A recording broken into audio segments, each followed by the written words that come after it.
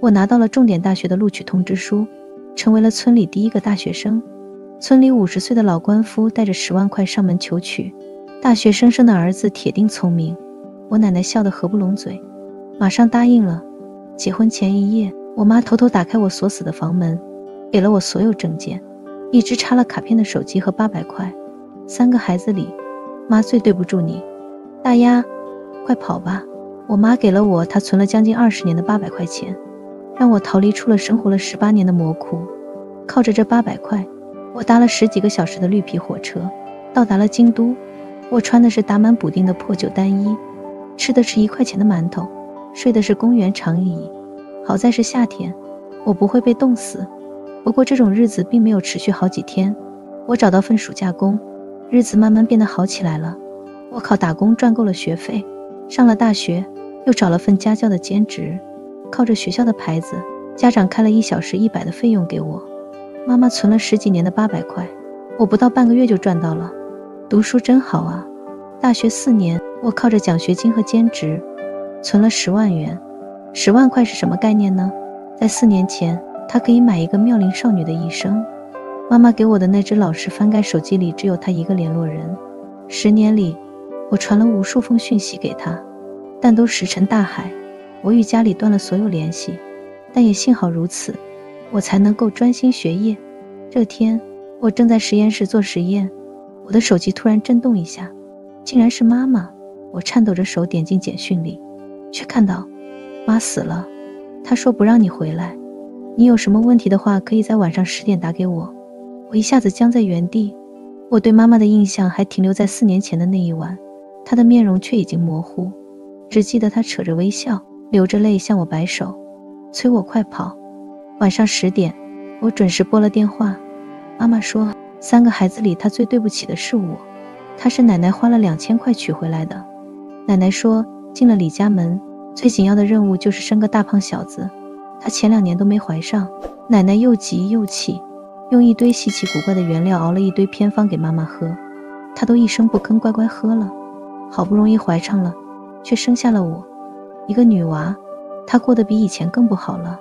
白天，奶奶骂她，要她做着永远干不完的活。晚上，爸妈的屋子里常传出妈妈的惨叫。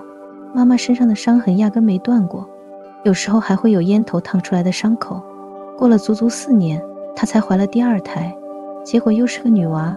妈妈在放我走的那晚说：“妈这辈子干过的最出格的两件事，一件是找了个道士骗你奶说二丫是福星，第二件就是现在了。”但我的妹妹二女确实是福星，她出生后一年，妈妈就生了弟弟。在李家，过得最不好的是我妈，第二名是我，所以妈才会说她对不起我。电话接通了，我擦干眼泪，喂，是姐姐吗？你是二丫？你走后，爸爸就一直在打妈妈，问她你去了哪里，可妈妈每次都一声不吭。前几天爸喝醉了酒，寻了由头就拿妈出气。妈被他打吐了血，奶怕浪费钱，不肯把妈送医院，妈就死了。妈死前让我联络你，她说她很想你，但又让我告诉你千万别回来。我沉默半晌，沙哑着嗓子问二丫的现况。电话那头传来嗤笑：“因为你逃婚，我初中毕业奶就不让读了。”他说我是福星，聘金肯定也有十万块，他已经在给我找人家了，再过一段时间就能结婚了。怎么这么急？妹妹才刚到十八岁，姐姐你出去久了，这都忘了。村里都这样，而且，轩弟要结婚了，不说了，我不能出来太久。电话挂断了，刚才打电话时的冷静全部不见了。我后知后觉的开始伤心痛苦。妈妈死了，她是被爸爸打死的，是被奶奶害死的。但如果没有我，她会不会死？强烈的悲伤与罪恶感席卷了我。我终于绷不住了，开始抱着头无声痛哭。复仇，这是我脑海里仅剩的念头。我对这个妹妹并不放心，我怕她将我的联络方式告诉家人，这样我就不会有安生日子过了。这几年家里人一直找不到我，是因为他们压根不知道我在哪里，他们根本不知道我在哪里上学，因为录取通知书只有我和妈妈看过，在其他人眼中，那录取通知书不过是一张能多换礼的废纸罢了。我和妹妹从小就不算亲厚，她是家里的小福星，和我的待遇简直是天差地别。奶奶会给她煎蛋，给她夹肉，不让她做家务，从不打她骂她，而我一年都不沾几次乔星，家务活被我和妈妈承包了，时不时的还会挨打。我们没有多少姐妹情谊，这么多年下来，我早就变得冷漠无情，除了妈妈，我谁都不爱，谁都不信。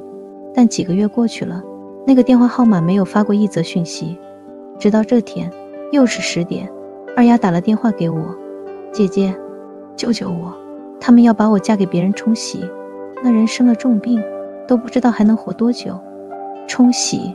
我的脑子里突然出现了小时候听到的村子里关于冲喜的故事。冲喜的人都是福缘深厚的，婆家会使劲折磨她，新娘的福气散出去了，最受益的就是她的枕边人，福缘上身，药到病除。但这不是传说吗？怎么会？她是李家的福星，奶那么痛她。我赶紧安抚妹妹情绪，你别急，慢慢说，让李家的福星嫁给人冲喜。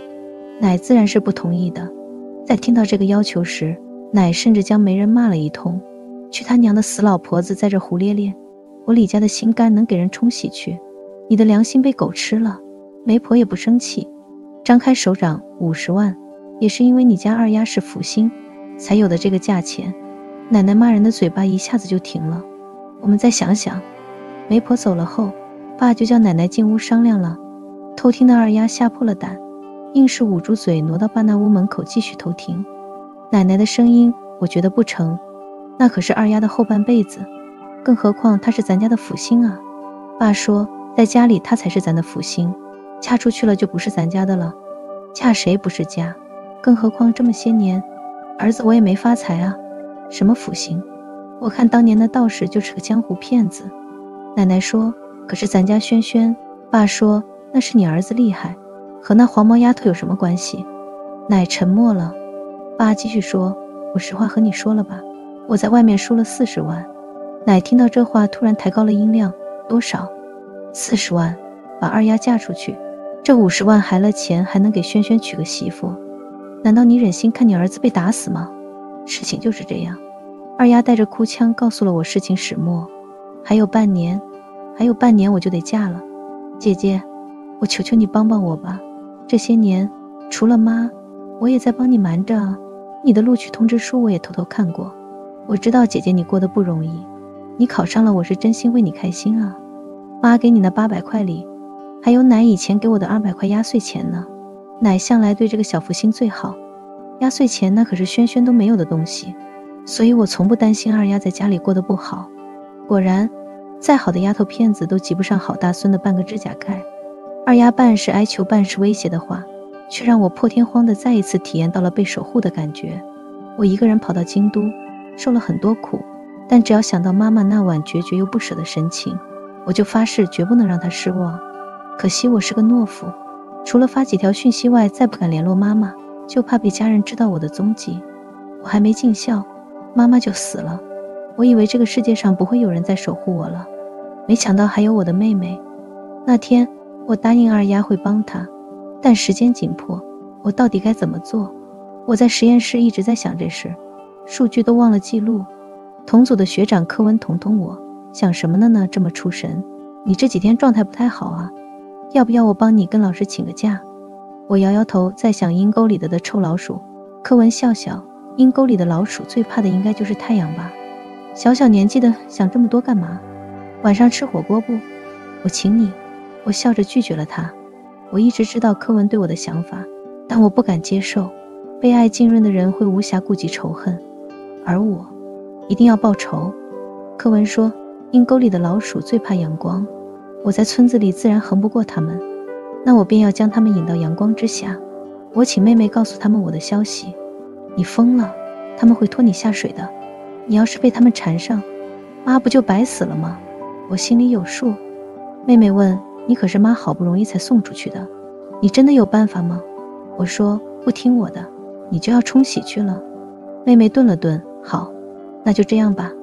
我说，你一定要保护好自己，姐姐。我挂断了电话，我还不太适应跟妹妹交流，尤其是默默守护了我很多年的妹妹。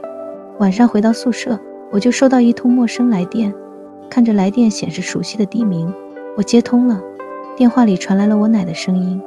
果然，女娃子就是赔钱货，白养了你十几年，这么多年一个人在外面吃香喝辣，有没有想过你娘老子和弟弟？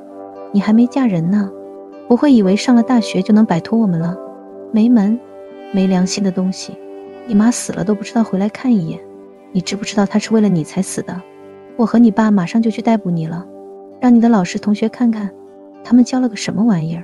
奶奶骂了足足三分钟，听到他提起我妈。我杀人的心都有了，她怎么配？奈何我打小就嘴笨，愣是憋不出一句话反驳，硬生生的受了这气。不过好在，一切都在我预想的地方发展。我是锯了嘴的葫芦没错，因为比起动嘴，我更喜欢直接动手。李莹，你脾气真好啊！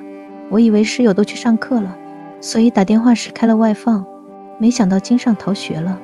我正好有事求他，毕竟我之前也算是帮过他。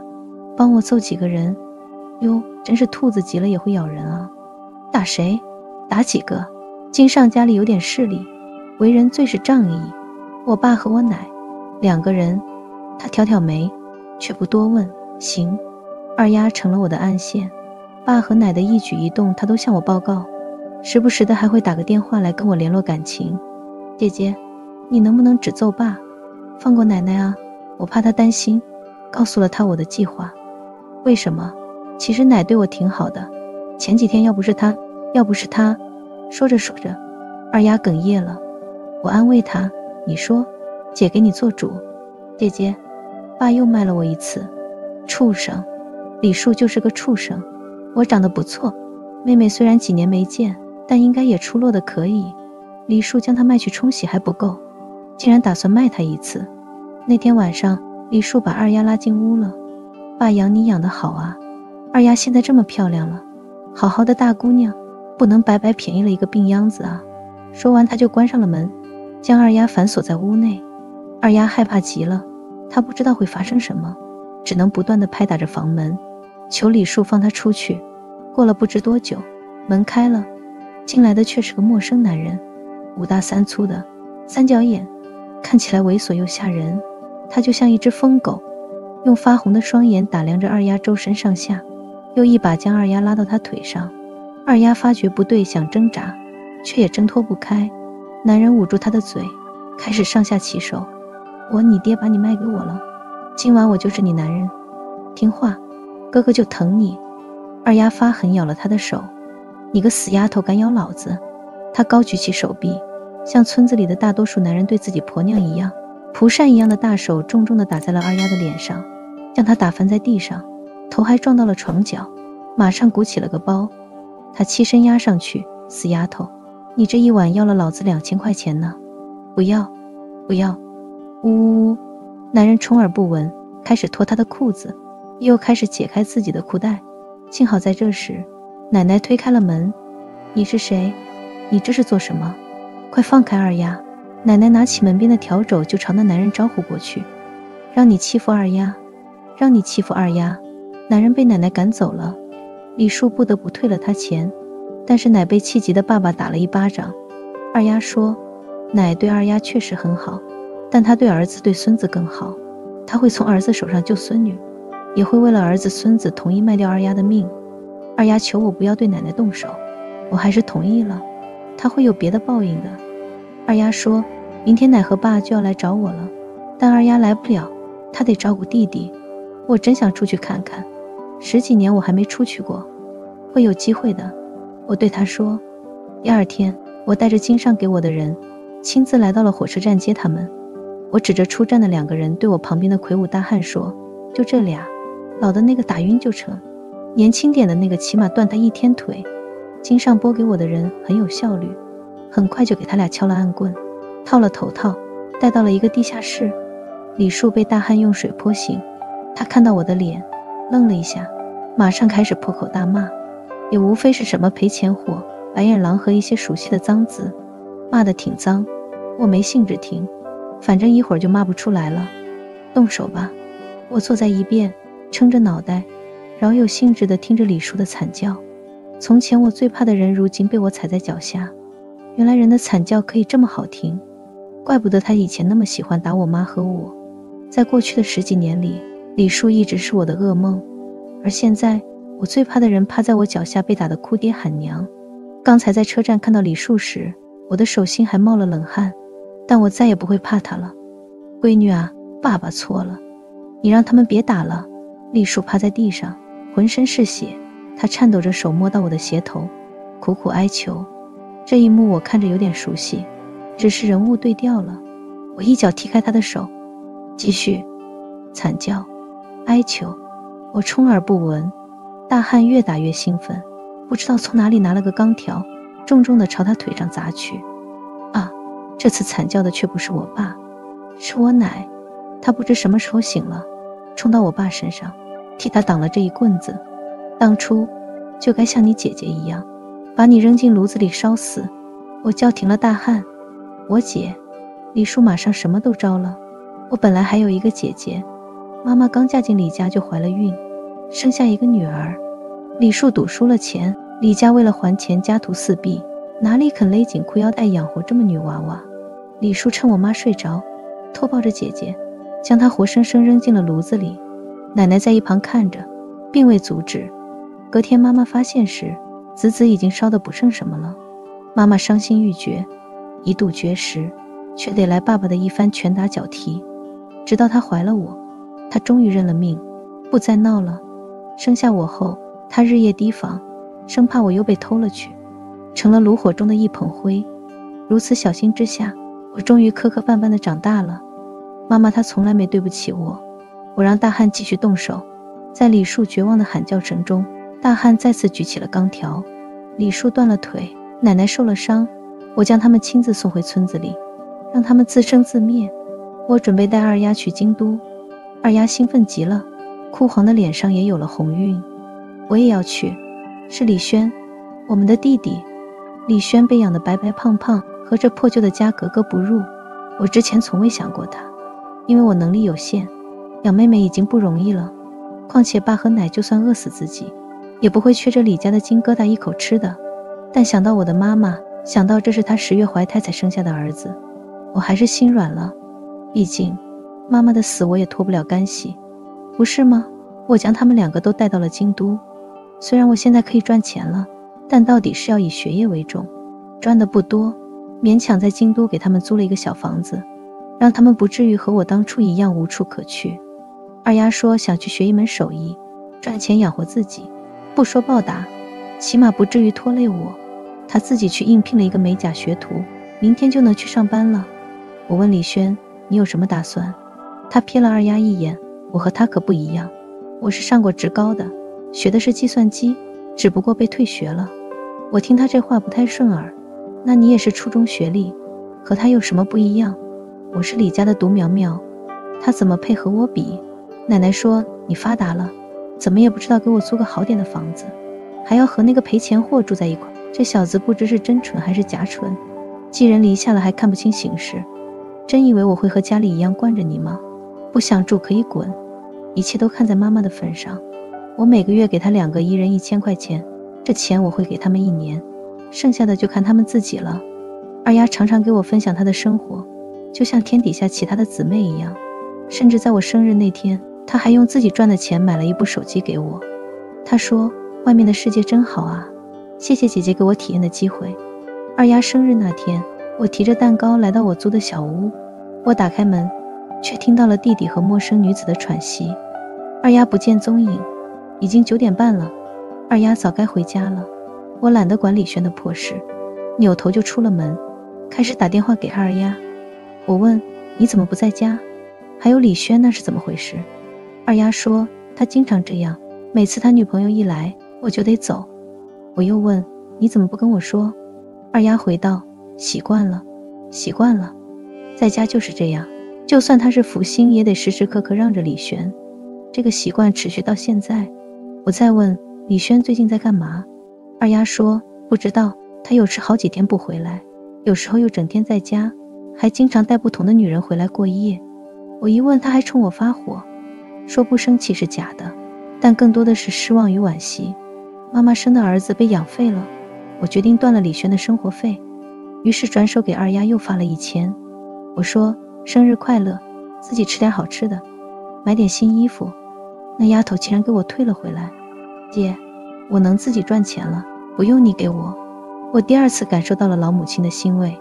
李树去赌博了，他跟我借钱，一开口就是十万。姐，你救救我吧！你哪来的钱去赌博？是，是二姐的聘金。我瞪大了眼睛。爸和奶对我们不好，对他却无可指摘。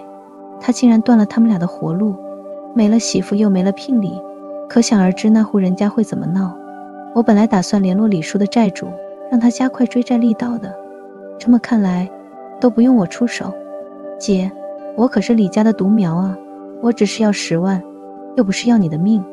你怎么连这点钱都不舍得？他吸血习惯了，已经觉得理所当然了。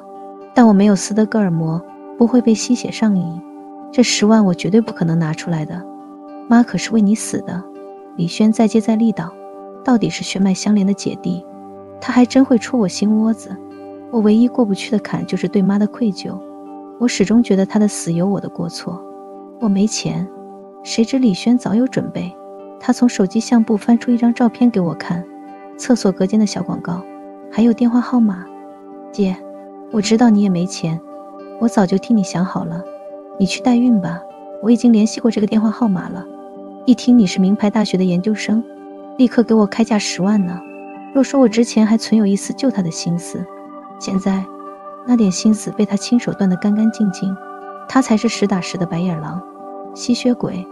李轩见我不说话，猛地抬高了音量：“姐，你不会不愿意吧？那你就别怪我。”他话没说完，就被我狠狠地打了一巴掌。啪的一声，格外清脆，他的脸被打偏到一边，他暴怒：“臭婊子，你去死吧！”他握起拳头就要打我，可惜这半年来他瘦了不少，力气也很小，再加上我这些年一直有练防身术，他的拳头被我轻易的挡开。我反手又给了他一巴掌，然后将他一脚踹翻在地上。我为你是我弟弟感到羞耻，我俯视他。妈最大的耻辱就是有你这么个不成器的儿子，还有那屋子我下个月就不续租了，你自己看着办吧。晚上我和二丫一起吃饭，将李轩的事告诉了他。妹妹心疼的安慰我：“姐，不管怎么样，我都站在你身边。妈的死，也不关你的事。爸从来没停止过对妈妈的暴力，这与你逃与不逃没有任何关系。就算你不走，他总是会有别的理由打妈妈。”你给妈发的短信，他看了很多很多遍。他为你骄傲，你是他暗无天日的日子里的光。他希望你彻底逃离那个家，才不愿给你发讯息的。如果可能的话，他希望你把以前的一切都忘了，连带着他。他要是知道你一直为他的死而自责，得多伤心啊！害死妈妈的是爸爸，是奶奶，是李轩那些戏他写的既得利益者，不是我。我第一次紧紧地拥抱住了我的妹妹。她是我唯一的亲人了。就在一切都步入正轨时，网络上突然爆红了一个文案为替大女研究生狼心狗肺，动手打伤亲生父亲和祖母的影片。拍摄人是李轩，他为了躲避追债的人逃回老家。影片的背景是我待了十多年的破旧老屋。影片的主角是坐在轮椅上不能走动的断腿老爹，和躺在床上不省人事的年迈祖母。李轩添油加醋的悲惨描述，让人听了就得摸一把眼泪。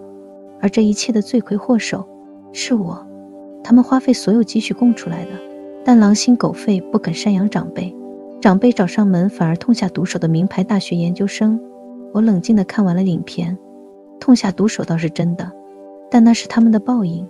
评论区清一色的同情与痛骂，有骂我的，有骂我学校的，有想捐款给老人家救助的，还有扒我个人资料的，偶尔能刷到一两条，可能是我熟人。替我说话的，但都被正义网友狠狠地骂了一通。二丫急忙慌地打电话安慰我，说要帮我澄清，写了一长串的解释，但都被淹没在铺天盖地的辱骂中。我没太当一回事，毕竟了解我的人都知道我是个什么样的人。事情在李轩发布第二条影片时发酵到了顶峰。奶奶死了，李树、李轩父子俩欠的债有足足五十万，他替自己儿子挨了一下子，但因为没钱。李轩不肯送他去医院，他硬生生的挨了大半年。一开始还能为自己做个饭，到后来就只能躺在床上了。李叔也像真心的给他点吃的，让他不饿死，剩下的一概不管。他终于算是熬到了头，解脱了。但在不知全貌的网友眼里，他是被我害死的。影片评论区最上面一条是我的照片，照片下面全是骂我的，咒我死的。替大娇出来的就是这种学生啊，这种人怎么配拿奖学金？有内幕吧？女人就不该念书？李荣怎么还不死啊？看见他就烦。校方迫于压力提出彻查，我被停课了。我之前一心扑在学习和实验上，这些事情懒得管，始终相信清者自清。但现在我的正常学习生活受到影响，我不得不重视起来。停课那天，柯文打了电话给我：“师妹，你放心，我们和导师都相信你。你从本科开始就跟着导师了，你家里的情况我们也知道，他们哪里给过你一分钱？你安心休息。”别看网上那些评论，我们会替你解释的。我回到了宿舍，开始想办法翻盘。我的床帘突然被人掀开，是金尚。看在你是我救命恩人的份上，我再附赠你一份李轩赌博的证据。小心着点，你弟弟可是什么都敢沾。谢谢，李轩沾什么我都不觉得意外了。瘦成那干巴样，手上没一点力气，我早就觉得有问题。胆子不小，可惜没用在正途。就在这时，二丫也发给我一段录音。她说这是奶奶生前录的。她一直和奶奶有联系，时不时还会给奶奶付钱。要不是二丫，奶奶也撑不了那么久。奶奶从来没有亏待过我，我不忍心。对不起，姐姐。我明白，二丫对奶奶的感情很复杂。她看不惯奶奶欺负妈妈，他恨奶奶是杀害了妈妈的凶手，但奶奶却也是真心疼过他。他做不到袖手旁观。我点开录音，这老太婆怎么还不死？多活一天就得多费一点粮食。这是李轩在说话。快了，快了，已经出气多进气少了。李叔的声音里全是讨好。李轩说道：“你还有没有钱？再给我点。”李叔说：“都欠一屁股债了，哪来的钱？”然后就是长达十几分钟的打骂声。没钱，没钱不会去赚吗？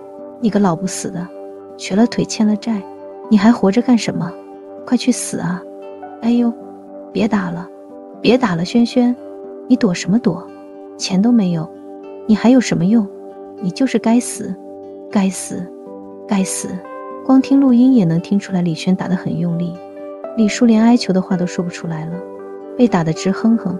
偏偏他只有这一个儿子，他只能靠儿子养活，他不敢反抗，只能受着。真是猪狗不如。我评价，我将这段录音发上网了，还将金尚给我的证据一并发了上去。舆论开始扭转，我的老师、同学也纷纷为我发声。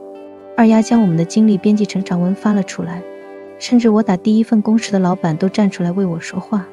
我上学没有花过家里一分钱，我考上大学却差点上不了，被至亲以十万元的价格卖出。我从小就被打被骂，被苛待长大。我曾经吃不饱饭还没穿，我才是真正的受害者。网友纷纷同情我，向我道歉，当然也有质疑的声音，像是李叔的腿和奶奶的伤到底是谁打的？不过和之前一样，这些评论都被压了下去，销声匿迹，没有一点水花。这件事一度闹得非常大，因此李轩和李树死的时候又引发了轩然大波。他俩当然不是我害死的，是他们自己的报应。李轩欠了钱。就想着再赌一把，万一就翻身了呢？但如今网络上对他骂声一片，之前给他捐钱的好心人开始对他们口诛笔伐，纷纷要他还钱。正义网友恨不得生啖其肉，他没钱去赌，便用刀架在李树脖子上逼他给钱。这招很好用，每次刀子一架到李树脖子上，李树总是能吐出点钱。但这次他是真的没有了，他苦苦哀求自己养了十几年的能延续老李家血脉的儿子。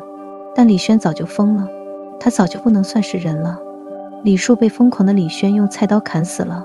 正巧的那户之前给二丫提亲的人家上门要彩礼，杀红了眼的李轩又砍死一个人，还有一人被李轩挟持着上门。李轩狮子大开口要十万块，否则就撕票。那户人家敢做冲喜的勾当，自然是有点势力的。付钱的时候直接与李轩打了起来，将他打得半死，扔到了山上。不知哪来的野狗将李轩活活咬死了。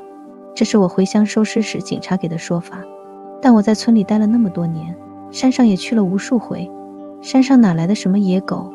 李轩被发现时身上没有一块好肉，有的地方白骨都露在了外头，全当是他的报应吧。我的仇算是报完了，但妹妹的还没有。听说之前给二丫提亲的那户人家又花重金买了个新娘，今天就是成婚的日子。我特意带了一份大礼去凑热闹。新娘看起来也就十几岁的模样，穿着大红的嫁衣。新娘旁边是捧着公鸡的妇人。新郎病得竟然连婚礼都参加不了了。这种筵席见不得人，自然没什么宾客。我是在别人的帮助下溜进来的，毕竟能做出这种事的人家仇家不会少。新娘眼中含泪，嘴被堵了。只能发出呜呜的声音，身上被麻绳紧缚着，旁边有粗壮的婆子按着她的头，强逼她拜堂。这一幕让我有一种深深的今夕是何年的错觉。我开了直播，躲在暗处，一言不发地记录眼前的惨剧。直播间早就炸开了锅，这是在干什么？演戏吗？小女孩还挺敬业，麻绳绑那么紧，演得还不错哩。和公鸡拜堂，主播出来解释一下枪。新郎哪里去了？拜堂很快就结束了，接下来的流程却不太正常。婆子拿了一条鞭子上来，进了我家的门，就得能吃苦，侍奉好公婆和丈夫。做不好，可是要挨鞭子的。你初来乍到，先给你三鞭长长记性。新娘年纪不大，见状疯狂挣扎扭动起来，婆子笑出了满脸褶子，然后就是鞭子破空的清脆响声，新娘发出一声惨叫。血红的嫁衣被染得更艳丽。就在这时，警察同志终于到了。来这里前我就报了警，这就是我送他们的大礼。警察，都不要动！满厅的人都变了脸色，胆子小的立刻蹲在地上，举起了手。婆子正准备打第二遍，却马上被警察扭倒在地。新娘见自己得救，紧绷的心弦倏地放松，力竭晕了过去。我提着的心终于放下了。直播间被顶到了热搜第一，网络上炸开了锅。我要当报案人，跟着警察去做笔录，顺手关掉了直播。此时我还不知道我引起了多少人的注意。网友扒出了我所在的村子，顺藤摸瓜地掀开了这个村子的丑恶面容。冲喜，在村子里还算是比较少见的情况。村子里广为流传的是一个生子偏方，若是婆娘生不出儿子，几乎家家户户都会给熬这么一锅药。而这偏方的药引子是那婆娘女儿的骨灰，百试百灵。除此之外，家暴、赌博是这村子里最习以为常的东西。我们及周围的村子被查了个底朝天。我的噩梦，二丫的噩梦，妈妈的、奶奶的，村中所有女人的噩梦都结束了。我回到了校园，继续完成我的学业。二丫学的美甲也已经出师。我拿出了我的存款，全给了村子里得到解脱的年轻女孩。妈妈推了我一把，我得以爬出深渊。我又拉了二丫一把，她和我一起见到了外面美好的世界。那些女孩也只是需要有人给她们一把力而已。